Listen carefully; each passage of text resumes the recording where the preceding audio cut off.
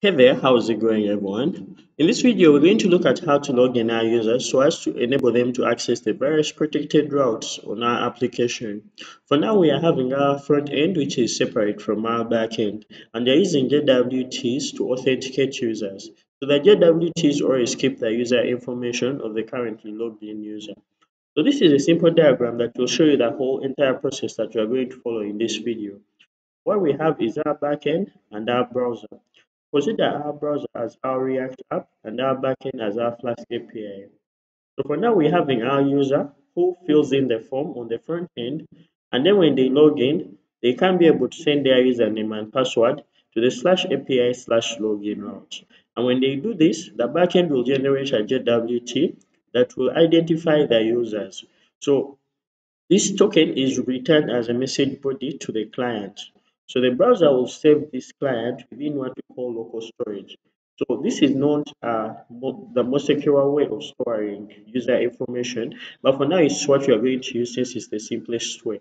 So now a user can also be able to uh, access a protected route and in this case the example shows us they create a note. So when they create a note, they fill in a form that creates a note, and then they send the data when they send this data, the data basically has the token which they will use to access that protected route, just like you can see here.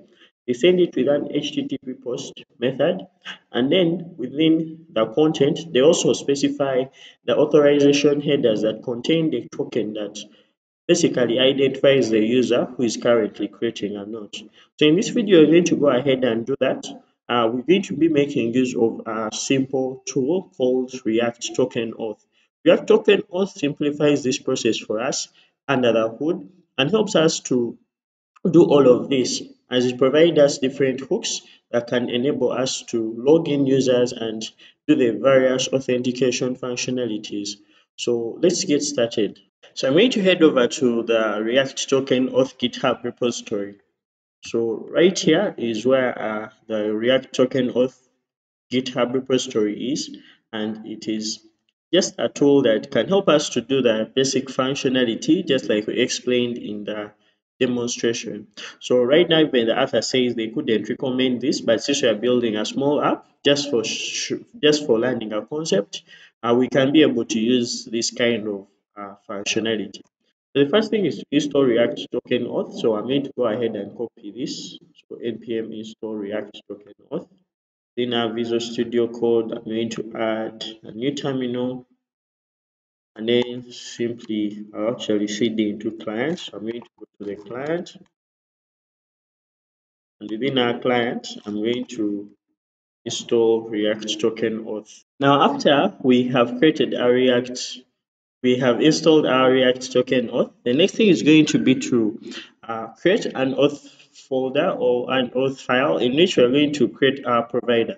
So our provider is that a function that gives us uh, access to the various hooks that you're going to use to authenticate our users. We're going to go right in here, our folder, and within our source folder, I'm going to create a new file, which I'm going to call uh, authentication. So I'm just going to call it auth.js. This is going to be our auth.js and uh, within auth.js, I'm going to head over to the GitHub repository. So I'm going to just come right in here. So what we need is to create a, an auth provider. So I'm going to import create auth provider from React auth token and then import the various hooks. For example, use auth, auth fetch, login, and logout. So let's go ahead and do this. So I'm going to go in here, I'm going to close this. I'm going to say import then I'm going to import create uh, auth,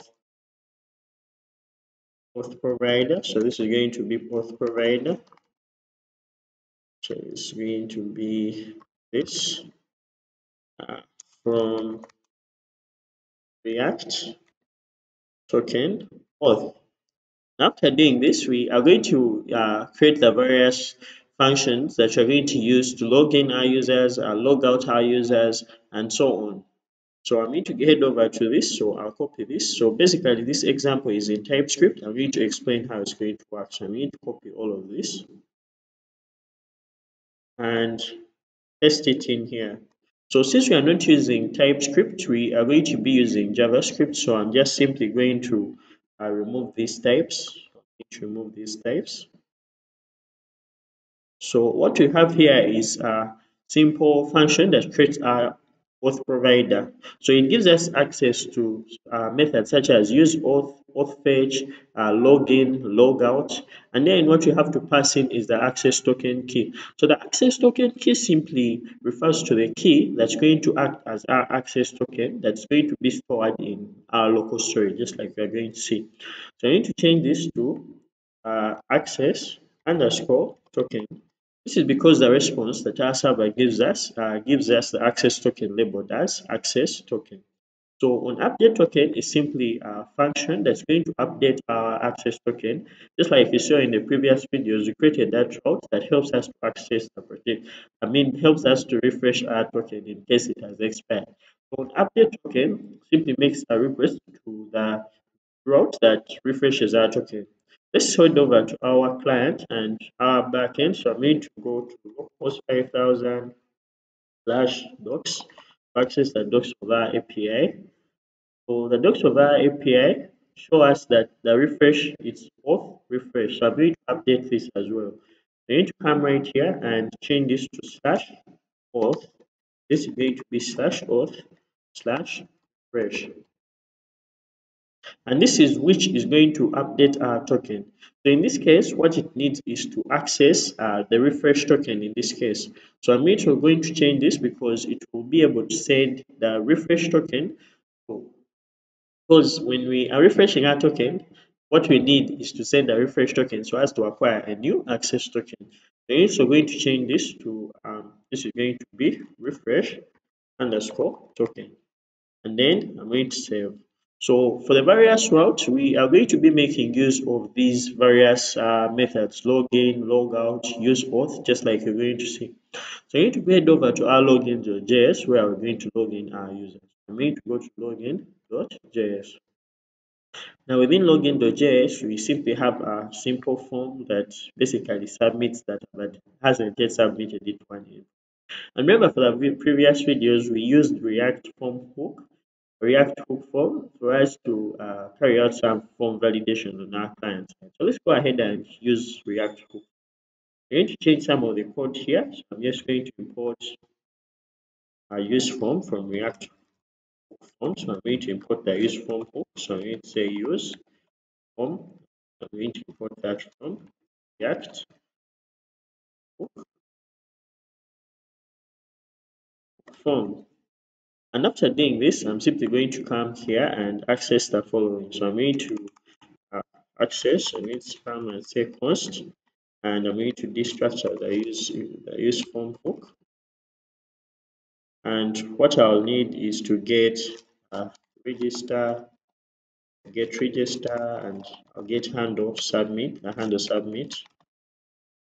In this case, is going to be handle submit. I'll also get watch also get in this case I'll get a form state. So the form state will give us access to errors. So let me try to fix this. So this is going to give us access to errors. So after doing this I am now going to discard the various uh, the various hooks we've been using to manage our form state. So I'm going to remove this. And I'm also going to remove this so we're going to basically remove this. Now what i'll do is to come right in here and what i'll do is to remove this. So when i remove this i'll instead register them. So i'll use the register statement. Um, let's say um, register.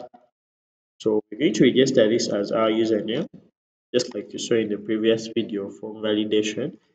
This is going to be our username then we pass in the various validation rules. So in this case, we shall pass in our first rule as required. So this is going to be required uh, being true. So, and then we can also pass in a max length. So we can say our max length is going to be equal to 25. So we can also add some uh, errors in case you have any errors. So I can come here and say that um, errors. So since we have the form state that gives us access to our errors, we can access our errors by saying errors dot. Then you pass in username and then we specify the error. So I'm going to specify the error as this case is going to be a simple paragraph and then it's going to have a style. So I'll just give it a style. Style is going to be an object basically having color. This color is going to be red. So in this thing, in this uh, example, we shall just use a small tag that's going to create a small text and then we pass in the error. So in this case, the error may be password. Uh, so let's try to say password is required. I need to save this and when I save this, I'm also going to remove this. So I'm going to remove this from uh, our form control password and then register it also. So i come and register it. So say register and then right in here I'll pass in the password and then I'll pass in the various validation rules for our password. So the first one is going to be uh, required and then I'll pass in true since we need this to be required. After making it required, next thing I'll say is also like the main length, the main password. Our main password is going to be 8. So after doing this, I am going to go to just console log watch so as to keep track of whatever I'm inputting into our into our form. So what I'll do is to just console log and then watch then I'll console log our username. So if I save this and head over to our client, going to go to our browser, our React app. So try refreshing. So you see, cannot find module React hook form. Let's see how we to fix this. So I'm going to head over to our Visual and check where the error is. So we basically have from the space React hook. Let's try to fix this. I'm going to correct this thing. React hook form and when I save and head over to our client, in this case we see that our login page has been shown. So since we have our errors on the username, let's try to submit a form without a username. So right now this login button doesn't work yet, so let's go and make it work. So I will head over to our Visual Studio Code and within our Visual Studio Code, I'll come to the event on the click. So on click login user. So what we're going to do is to actually add the handle submit function to this. I'm going to say handle. This is going to be submit and then login user. So let's try to see we are having some errors. We are not actually. So when I save, we need to head over to our client and right here we see that when we submit this form, we see that our validations are now working. Let me add the validation for our password and also correct that validation on our username field. So I'm going to do this. It's going to be username required. And then what I'm also going to do is to use the same validation. So in this case, I'll also add the validation for uh, for our max length error. So if we have a, an error of, uh, of our username, search to the max length. In this case, we're going to use search. What I'll do is to say um, errors.username that dot type equal to. In this case, if the type is equal to max length, so we are basically validating the max length. So in this case, we say uh, max length. In this case, if the max length is uh, we're having an error our max length, what we shall show this error. So in this case, I'll create a simple paragraph. Then I'll style it. So I'll say style equal to. In this case, we shall say that our color is going to be red. And what we shall do is to create some small tags in here, just like we've been doing for the various errors. Then right in here, what we shall say is password. Actually, we shall say uh, in length max length should be. So we shall actually say max. I say user name should be 25 characters. So I'm going to also correct this and simply going to remove that. So right now we have this. So basically, to save and head over to our client. So right here we have our username. So let's try to input something longer. So we see that our username should be 25 characters. When you remove this, we see that our username is required. So our validation for our username is working. So I'm also going to copy the same and do the same for the password. So I'm going to copy this same uh, validation, use it on the password field. So what I'm going to come here into form group and then right in here I'll just come and say save. So in this case, it's going to be errors dot password. So since our field is password, and then I'm also going to say password. In this case, our password is going to be so in this case password should be more than eight characters. So this is going to be more, more than characters. So right now we are having this. So let me try to tidy this up try to bring this here. So this is our validation for our password. I also do the same validation for our required validation rule So I'm going to copy this, paste it. So right now this is going to be password is required.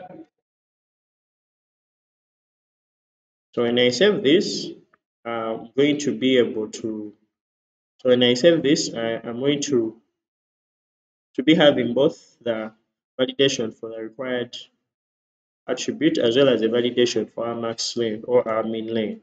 So when I go back to our front end, and so we see that both, both uh, validations are working. I need to come right here and going to put in a username insert a password. So when I insert a password, I put in a password and login. So let's see what our console log is going to do. So when I open the, the log, the console, the console, uh, we see that right now we can keep track of whatever we input into our username field. So let's try to do the same for our password fields. I need to head over to our code. And within our code, I'm also going to console log watch password.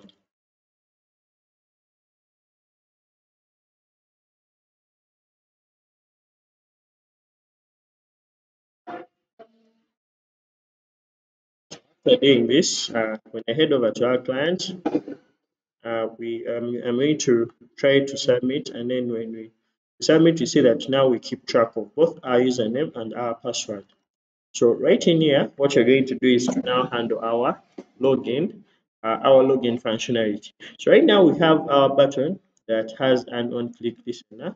So this on-click listener is an on-click handler. So this handler is basically going to log in a user, but then it's going to make that use of the data that we have in our login form. For example, here we say it handle submit login user. The login user currently does nothing, so we are going to be manipulating it to our advantage in this case. We're going to uh, pass in a data parameter and then within this we're just going to console log data. So I'll do console log in this case I'm going to log the data. Let's try to see what this is going to do. So when I head over to our client and we submit our form, for now we see that it console logs an object containing our username and our password. So let's try to refresh and clear our form. Also, we need to make use of a reset uh, reset function from React hook form. I need to import that, so I'll just come right in here and say import reset. And then right here after console logging our data, what I'll just do is to call reset. This is going to reset our form. So I'm going to come right here and put in a username, put in a password. And now when I submit, you see that our form has been reset. So now the next thing we're going to do is to actually make a request to our login endpoint. So I go to our API documentation, our login endpoint is slash auth slash login. We need to go ahead and do that. So we need to come right here and what I'll do is to create an object containing our request options. Remember, every time we carry out a post request, we specify the method, the body, and the headers are going to send with that post request. In this case, what I'm going to do is create that object containing all that data. So we say post request options. Our request options object is going to have method. So our method is going to be post, and then uh, our method is going to be post, another thing I'm going to say is the header. So we're going to specify the headers we're going to send with this request. So the going to send a header called the content type is going to basically give a description of the data we're going to send. So I'm going to say content type. And in this case, our content type is going to be application slash JSON, which means that we're going to send our data as JSON.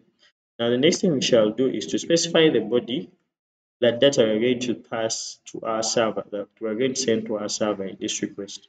So our, that, our body this case is just going to be our data since the data is now uh, an object containing the various fields the various data we input in our field so in this case we're going to say body is going to be json dot this case we're going to say stringify and then we pass in our so this is going to be our so right now we have our request options uh, object that's specifically having all this so I'm going to correct that so once we have all this, we are going to just make a fetch request.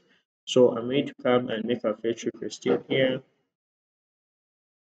So our fetch request is going to basically make a request to the login endpoint so that we access the access token and the refresh token. So I need to do that with fetch. And then we're going to say fetch. So in this case, I'm going to go head over to our client. So right here we have a slash auth slash login. So this is where I'm going to pass in a username and a password. So I'm going to come to our Visual Studio Code and say slash auth slash login and then pass in our request options. I'm going to say, uh, this case, we're going to say, we're going to pass in our request options. So I'm going to say request options and then after this, we shall access the response. So I'll say response and then this response is going to be in JSON. So say response to JSON. I'm keeping things for I'm keeping things simple right now. However, you can use any other tool such as uh, Axios. So in this case, for me, I'm using uh, Fetch API to keep things simple. So then I'll just access the data. So I'll say then data, and we shall simply console log the data so that we see if our our request is successful. So what I'll do is to console log then the data that's going to come with the with the request. So I'm going to save this and when I save and head over to our client. So I'm going to go to back to our Chrome to our client. So I'm going to head over here. I'm going to provide a simple username. Actually, let me remove these watch statements since now we see that our fields are working. So I'm going to remove these watch statements and also remove it from here. I'll head over to our client, put in a username and a valid password, and I log in. We see that our server is now responding with the access token as well as our refresh token. So we're going to be making use of the login uh, function that's going to log in a user. And by logging in a user, what we mean in this case is going to extract our access token and then store it in our local storage. So by storing it in our local storage, as long as it's not expired, we shall be able to access the different protected routes of our application. Let's go ahead and do that. To do that, I'm simply going to come right in here and I'm going to come and import login. So what I'm going to do is to import login from our auth from our author file. So I to say import login. So in this case, it's login from the, the slash auth. So when I import login, I'll just come right in here. So what we shall need is our access token. So in this case, we see that we are having an object having the key of access token. So we shall access the access token by saying data dot access token. I'll just come right in here and I'll say console log data dot says token and then we shall log in. So in this case, login takes in an access token. So we shall pass in a token just like you can see here, new tokens in. So in this case, we shall just simply come in here and say that we need to pass in our data dot access token. So once we create this access token, what we shall also want to do is to redirect our user to our want to redirect our user to our home page. So to do that, we are going to make use of uh, a hook called use history from uh, our React router. Now, if you watch the previous videos, I created one where we showed routing in React. So in this case, we're going to use React Router to redirect our user to another page after logging in. What I'm going to do is to come right in here and then import uh, our use history hook. So I'm going to come and say import actually I'll just use import use history from React Router. So after that, actually this is supposed to be a React Router see it's going to be react router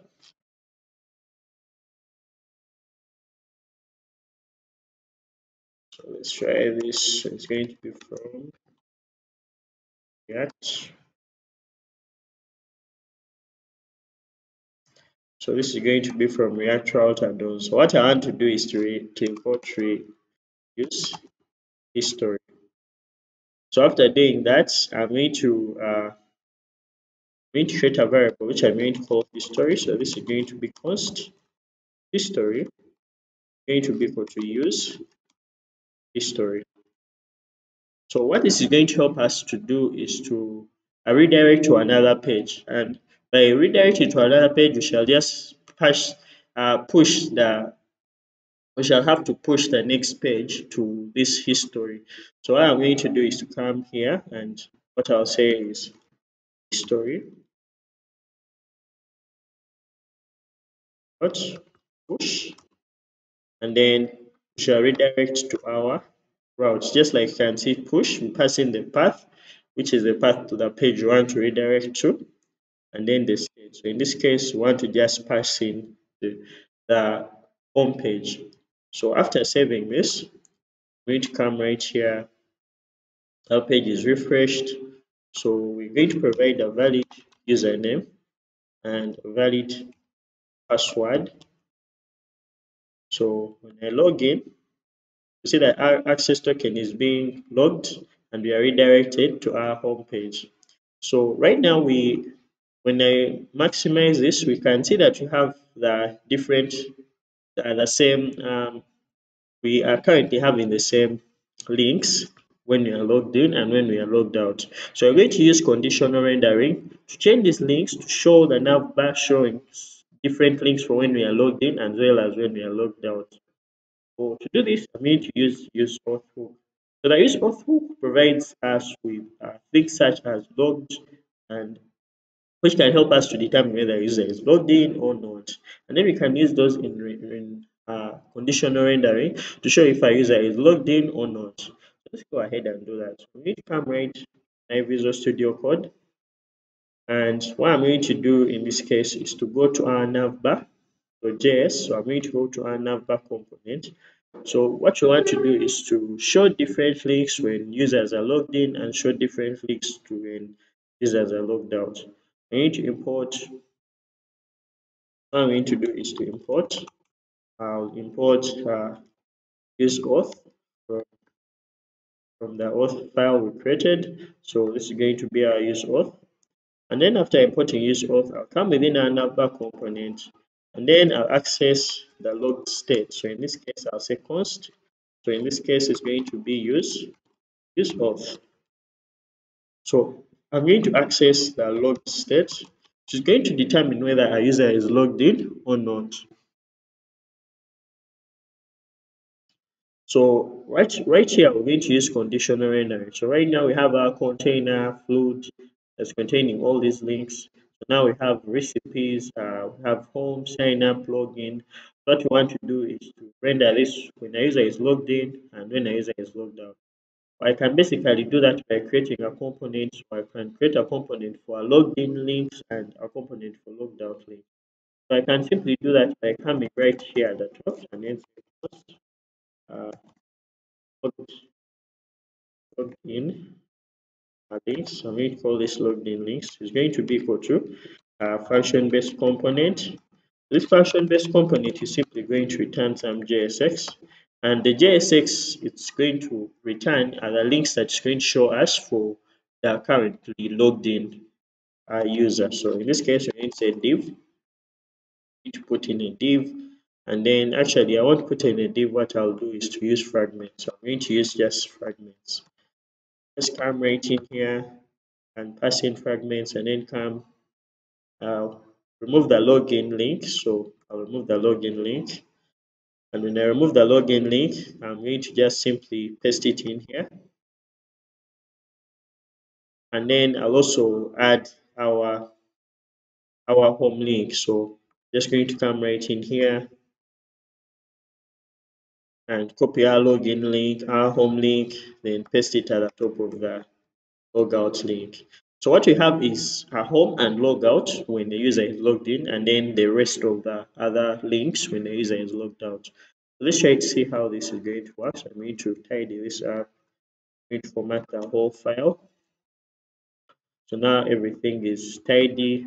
We're also going to create our, so I'm going to call this const uh, logged out links what I want to do is to use conditional rendering. So I'll just do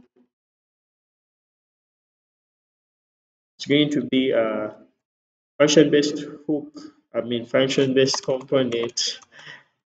I also return right in here, I'll return. So I'll use uh, these fragments then come right in here. So I'm going to copy all these links home sign up. Actually forgot one really important link, so I'm going to, to cut it and then insert it within our logged in link. So it's going to just be around here. So I'm save. So now I'm going to go right in here. Also uh, remove this.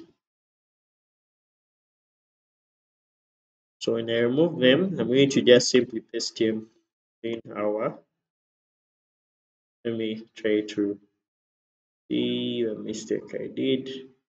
Didn't cut them so let me cut them and then paste them in here need to tidy everything. So right now I see that they are now tidy.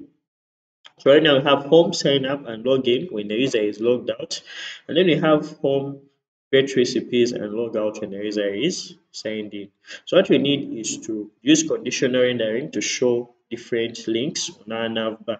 What I'm going to do is just come right in here and I'll use conditional rendering. So since we have our state of logged right in here, so what I can do is to say if logged, do this. If not logged, then do that. So I'm going to just simply do that by coming in here and so I'll just come right in here and what I'll do is to say logged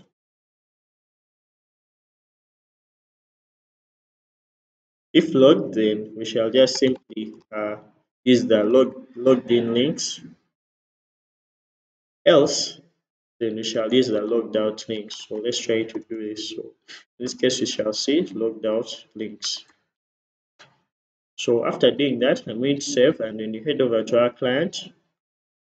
Since we, let me try to refresh. So right here, we see since we are logged in, we can see home, create recipes, and log out. So we are also going to work on our home page so that it shows a list of recipes instead of showing us get started. So to do that, I'm simply going to come change this. I'm going to go to our homepage, so our home.js, and I'll do the same thing. So what I'll do is to come right in here, create a component. So in this case, it's going to be const logged in. It's going to be uh, so in this case I'll say return shall say return. So in this case we shall just return a simple div a class name. So in this case I'll just give it a class name of uh, recipes. And then we shall just have a simple h1 right here. And this is going to be list recipes.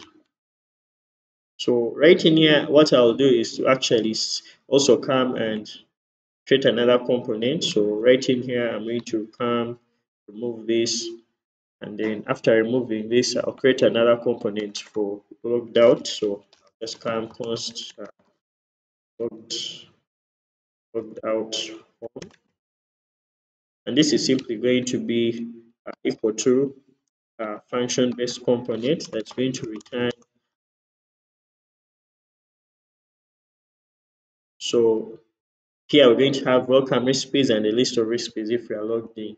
So what I'll do is to use uh, going to use conditional rendering in this case and say if logged, so that means I'll have to make use of the use auth hook. So I'm going to import it. So I'm going to say import use auth hook from that from auth. Then I'll just come in here in our home page and then I'll access the load state. So I'll come and say const is going to be equal to use use auth. And then here, if we are logged, we are going to render this component. So we shall say uh, logged, logged in home. Else, we are going to render logged out home. So actually this is supposed to be these are supposed to be components so let me fix this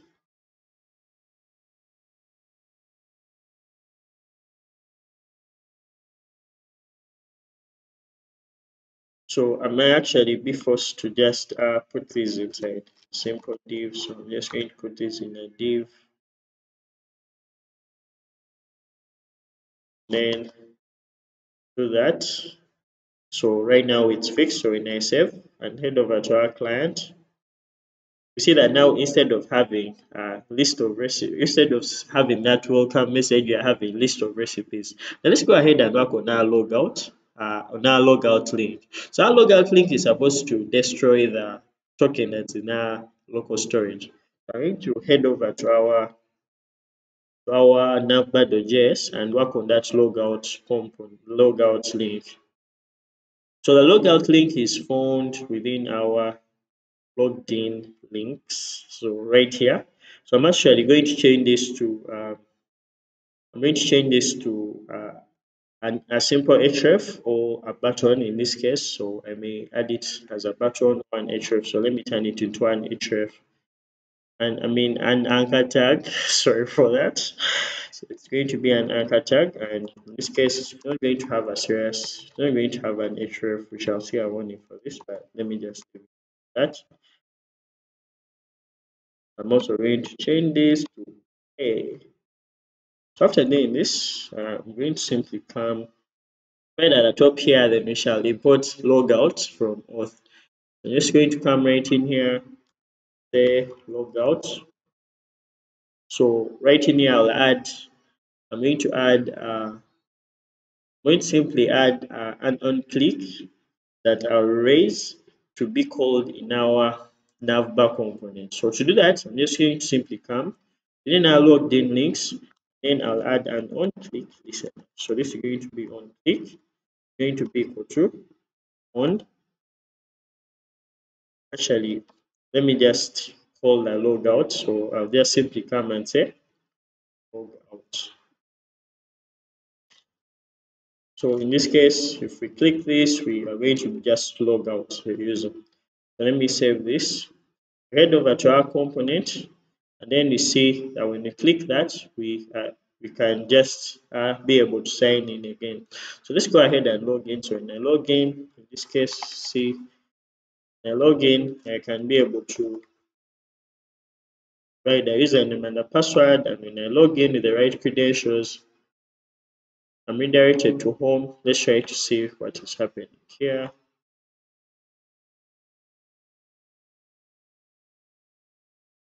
Go to our application and access our local storage. So right now our local storage does not have our token so let's try to try to see this. You need to go and see the documentation in here for logging out. All right so uh, how we're going to fix that is by coming to our so i'm going to come right in here to our logout so this is supposed to actually uh, have a function that calls logout so i'm going to come simply create a function that's going to call logout so when i save this try the whole sign up i mean login sign in process. So let's try to see we have we are having an error here. This is basically supposed to be like this. And this solves our error. So going to save. When i save i'm to head over to our client and try to log in again. So when i log in a valid username valid password login so in this case, we see that we are currently logged in. So when we log out, you see that we can be able to log out